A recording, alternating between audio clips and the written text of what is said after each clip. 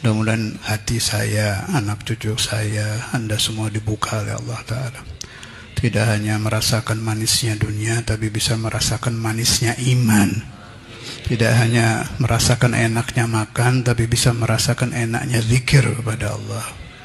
Tidak hanya merasakan sejuknya air, tapi bisa merasakan sejuknya salawat ada Nabi Muhammad. Tidak hanya merasakan nikmatnya bermimpi wanita, tapi dirasakan nikmatnya bermimpi Rasulullah. Dibuka hati saya, Anda, anak keturunan saya, murid saya, murid Anda, tetangga saya, tetangga Anda, seluruh umat Nabi Muhammad. Dibuka hatinya biar mengenal Allah. Mengenal Allah, mengenal Allah, mengenal Rasulullah, mengenal wali-wali Allah, mahabbah kepada Allah, mahabbah kepada wali-wali, bersih hatinya, tidak ujub, tidak ria, tidak kibir.